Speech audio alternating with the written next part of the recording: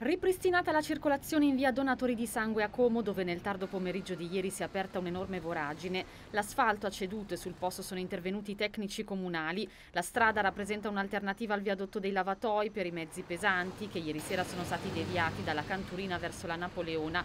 Questa mattina la situazione è ritornata alla normalità. Intanto proseguono i lavori su altre arterie cittadine. Oggi fino alle ore 17.30 è prevista la potatura del filare alberato di Tigli lungo via per San Fermo. Per l'intervento nel tratto interessato è stato istituito il senso unico alternato regolato dai movieri. Domani a partire dalle 9 saranno potati tre platani a lato della rotatoria di Largo Ceresio dove sarà istituito il divieto di sosta. Per consentire la posa di nuove tubazioni di Comoacqua e completare la rete fognaria in via Sant'Elia, da domani al 26 marzo sono previste alcune modifiche alla viabilità che interesseranno via Sant'Elia a partire dall'intersezione con via Cavallotti, avanzando verso via Recchi.